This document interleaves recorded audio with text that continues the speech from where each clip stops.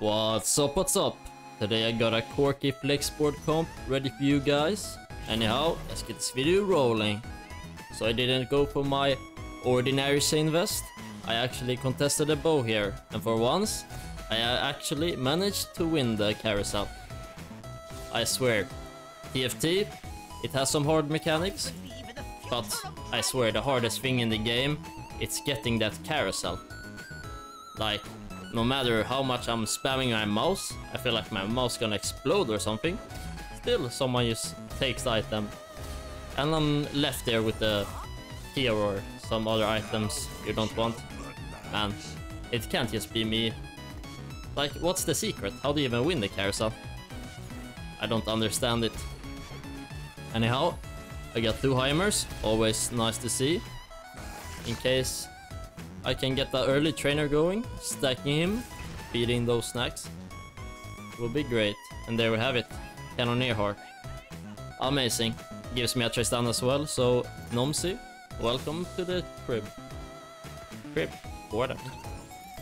Anyhow, so I went for two bruisers here, get some frontline, but then I thought, hey, we're so heavily invested in this Cannoneer, so let's see if that works. I also needed someone to put the Guinsoo's on. And I'm against the Astral guy, so it's gonna be pretty easy. The question is, can we keep this win streak going? We leveled up to 4, which means we have to try to win streak here. The problem is, the front line is looking non-existent, to be honest. So, hmm,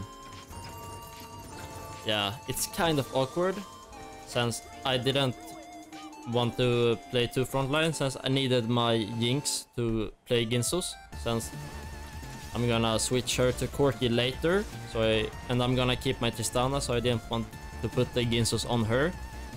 So I just did a risky play here and level up to 5 so if I lose my win streak here we're in deep trouble we need to get the economy from those wins.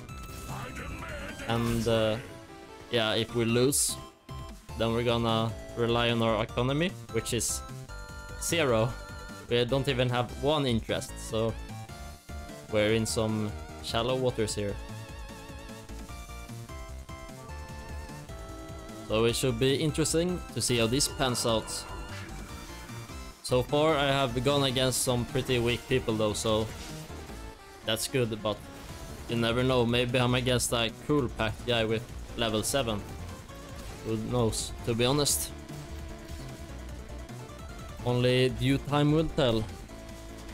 And this game, it had a really weird twist in the end. I'm not gonna spoil it for you guys, but oof, that was kinda crazy. I'll show you later, don't worry. So here he just went for the BF. Could be a Giant Slayer for Corki. But that's always a nice one. Or it could be a Spear Shojin. That we can put on um, Asona in the future. Or... Uh, hmm. Yeah, maybe a Six. Edge of Night. In case there's a lot of assassins or siphons. We'll just have to see. For now though, Jinx is gonna hold that item. A 10 AD bonus, it might not be that much, but you never know. Maybe it is the deciding factor. Hmm, so...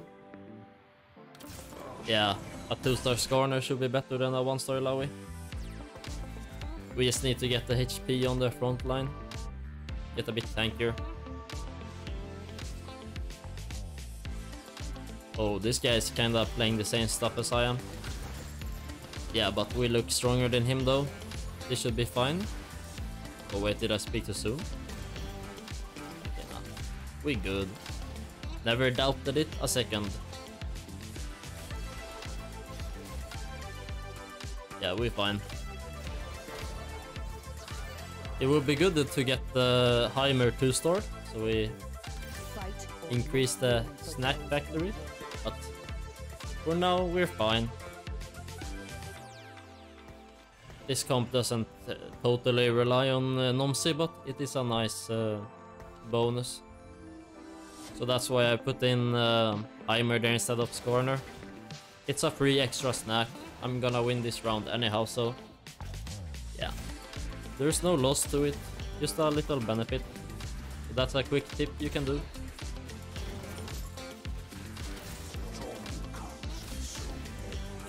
Let's see what the orb offers. Hmm. Here. Uh, I guess it's a Spear Shojin. Works kind of nice with the Guinsoo's since Guinsoo's makes you attack faster and uh, Spear Shojin focus on those auto attacks so they work together. More autos equals more Spear Shojin procs. So this uh, Firecracker is gonna get cracked. Yeah. That's a scary Volibear though, but maybe this Spear Shojin can slow him down. That's free ult so far.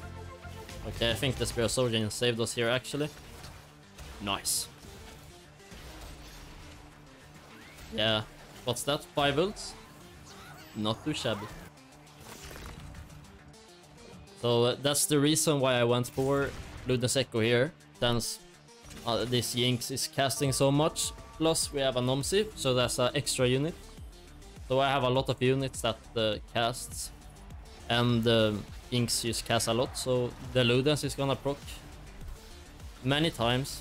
That together with Revel should do some nice splash damage. Don't mind if I do. Ooh. That's a scary Swain though, but for now I think it's fine, but once he gets that Rage Blade, it's gonna be gonna be strong. Hmm. So we actually managed to get a win streak here. It's a pretty weak lobby, so... But people are gonna scale, since uh, the Shimmer scale item is Draven's Axes. So they're just gonna get those three components and that free gold, so... We need to stay ahead on the curve here. Push our winnings, increase the money, and try to keep up. Well, we got some nice combat augments, which is where my strength comes from. Cannoneer and Ludens. Pretty nice, even though it's only silver augments. Hmm. What do we want here? Yeah, that got taken, unfortunately. A belt is always fine. We need those tank items for Idas later. Better start preparing already. But I think uh, in the future. So there's a mistake I did that I built the Sunfire Cape, which I realized I already have Nomsi, which applies anti-heal, so I wa it wasn't necessary. But yeah, it's not the end of the world. So here we're actually gonna lose. Damn you, birthday cake man. Ooh, Corki. And a Sona. Okay, that's a shop if I ever seen one. Thank you, Mortdog. He's blessing me today. And a Braum. That's good. Preparing for the Idas. That's a Xayah though. But the Xayah went to the front line, which is good. Maybe we can kill him and survive. Nah, this zone, this uh, Leona is just too tanky. Holy. Imagine when those items gets... Wait, it's actually close. Come on, Corki. Yeah, we... Never mind. Oh, the Caesar did me dirty there. Let's have some fun. Ah, yeah, yeah. Imagine when that Leona becomes um, or when uh, when she sells Leona and buys Neeko. It's gonna be a super tank. Kinda scary.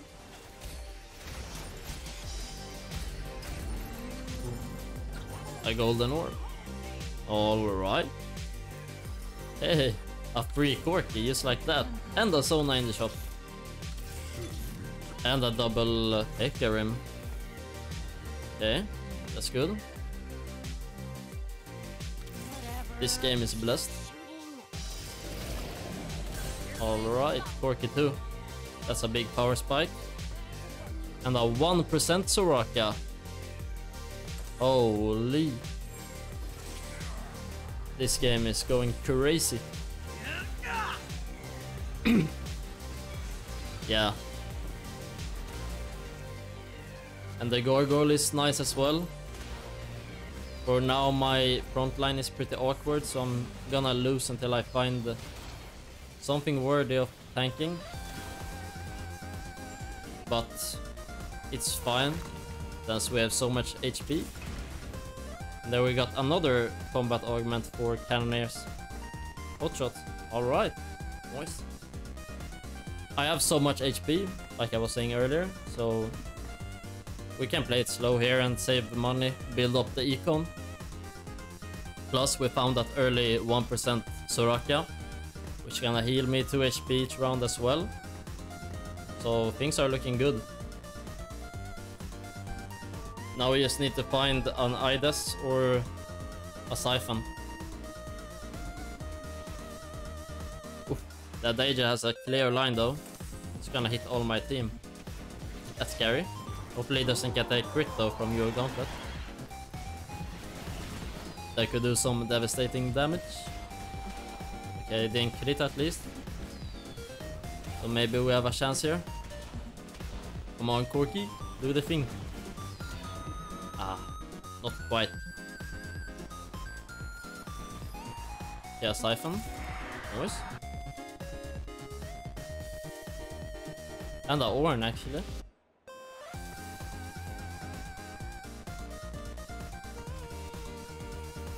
So that's good. Get some more CC from both Siphon and the Ornn. So this is gonna give our backline a little bit more time. We're still squished though, since they are one stars, but yeah, it's better than one cost two stars though, for sure. Kinda miss my Soraka, but it's fine. Copium. Just need to cope. Edge of Night on uh, GOU is kinda scary. Ah, it's fine. We're going for a lose streak. We're getting some extra money. All is good. No need to panic. When we're level 8 and find our units, we're gonna be fine. And there I have the HoJ, another great item on Corki. Don't mind if I do.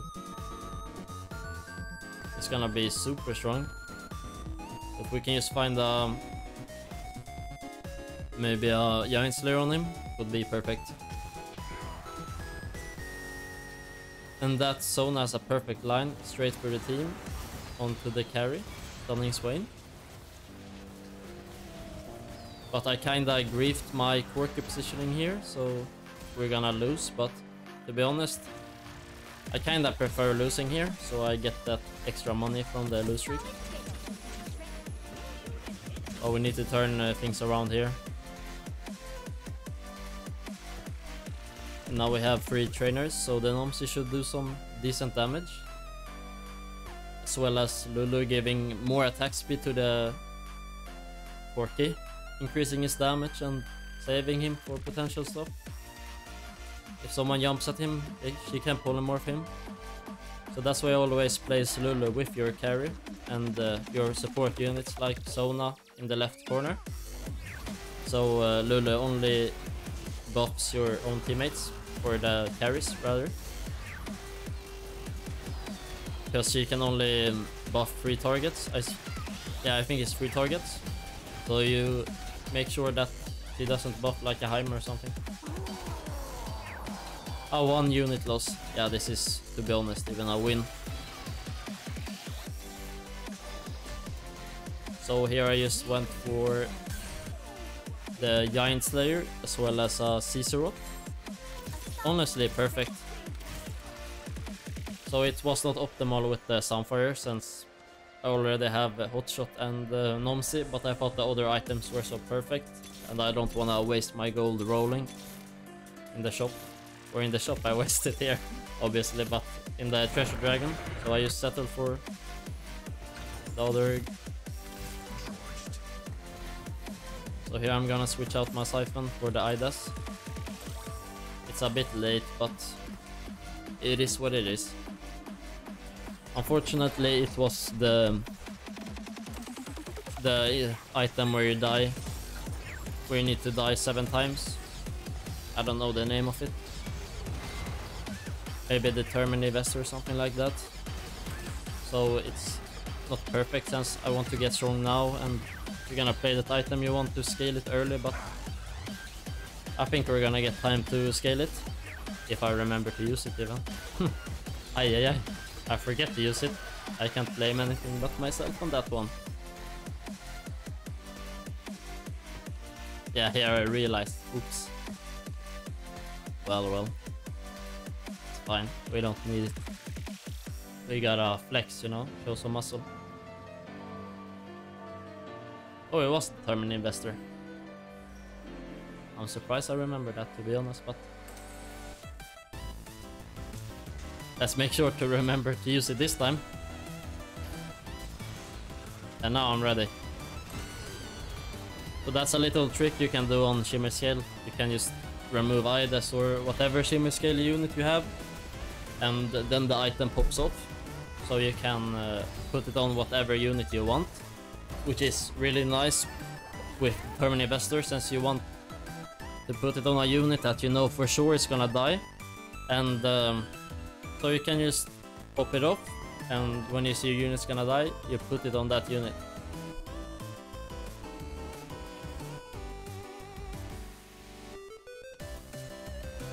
So here I can just place it on whoever I think's gonna die. So that's nice.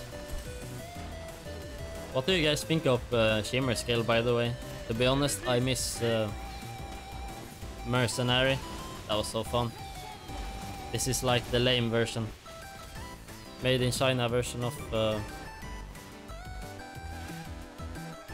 Mercenary.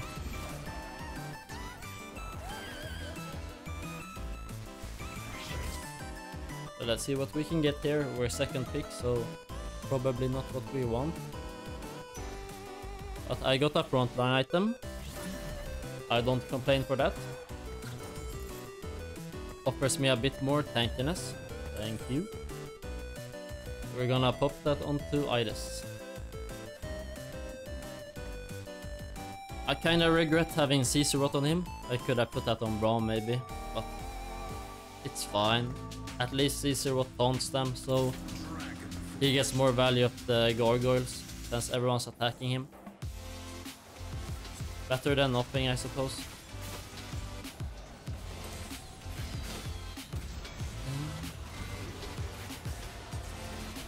Yeah, the Xayah is moving onto my backline. At least my Corki is safe for now. Hopefully we can deal more damage to him. Yeah, Corki is safe. Hopefully Yasuo doesn't do Yasuo things. No, we're good. Dead.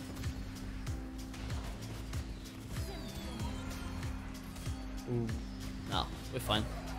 It was a close match, but we overcame it in the end.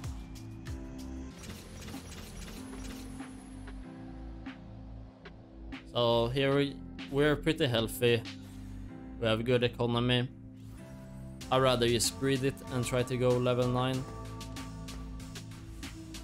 I think we're strong enough to win most matchups anyway, so we're gonna stay 8.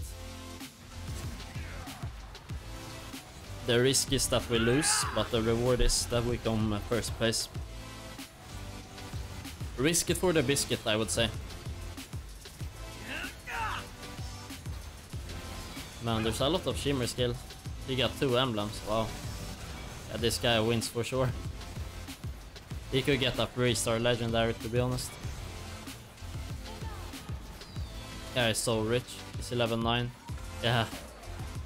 Level 9 with 5 economy. I wonder how much gold he even has. Wouldn't surprise me if he had like 100 gold. Shimmer scale goes crazy sometimes. Another gargoyle, for sure. Increasing that front line.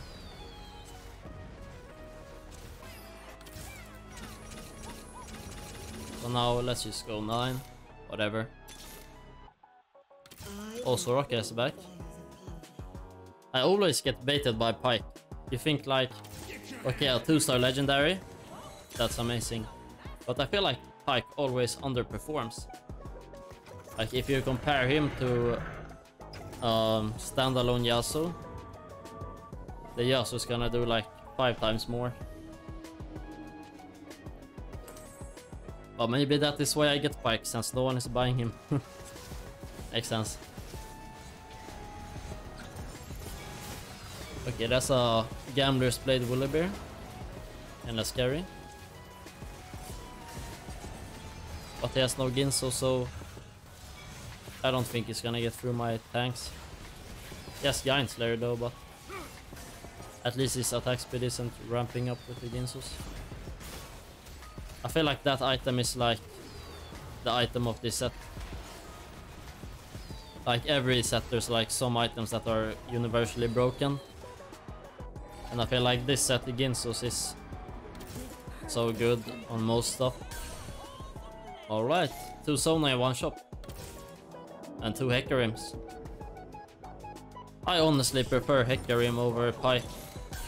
I feel like he's gonna do more tanking and that's really all I want to get to give my units enough time to kill them. The Pyke is jumping around randomly. Yeah, look at the Hecarim. It does more than Pyke, I would say. Even though it's a 4 cost.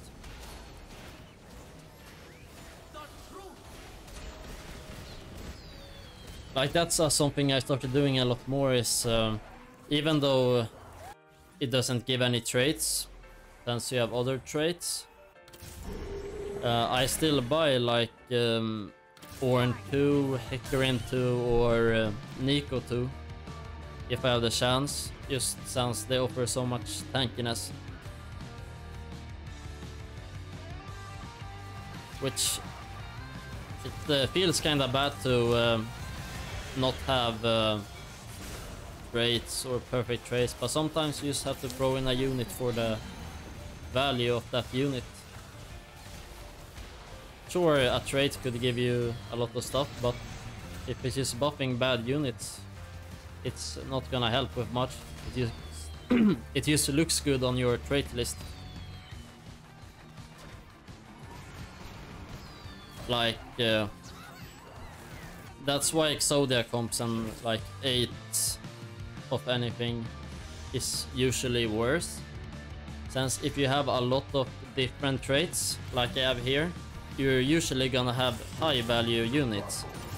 If you play, for instance, 8 Mirage, you're gonna have a lot of 1 cost or 2 cost, which you don't want that much.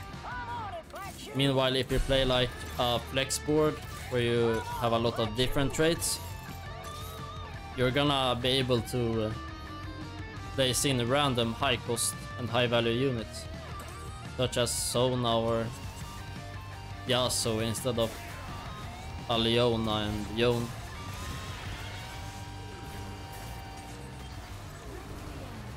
Yeah, this Yasuo got a perfect angle, just mowing through my Corki here. Yeah. That was rough. But it's all good.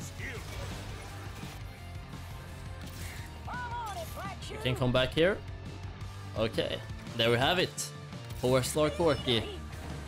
Just what I needed. Yeah, I think that's more than enough to win this lobby, to be honest. I'm already pretty strong, but this is just like a huge turning point. Let's see if it can deliver. So I placed my Braum back here since I knew that he had a Pyke and uh, Kayn. So I just wanted to protect my Corki a bit in case they attacked him. Braum is there to shut them down. Yeah, you see that Corki damage? Man, those numbers is crazy. Holy. Almost 20k. There we go. Hmm. Hurricane. I don't really know who can use that. Ah, who cares? Gonna win anyhow. I'll just throw it on Tristana, I guess.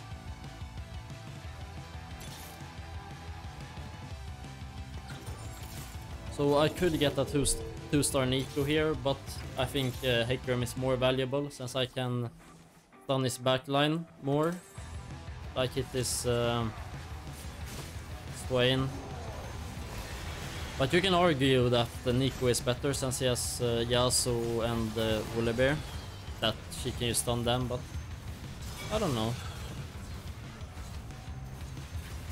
I think both are fine. Wait. yeah, he just got 100 HP again. Alright, dude. Sure. Just a casual free start Soraka. My free game. No. LP. If you made it this far into the video, thank you so much for watching. Be sure to leave a like, it motivates me and it helps me out on YouTube. I make TFT content just like this video, so if that interests you, be sure to subscribe. Have a great one everybody. Ciao.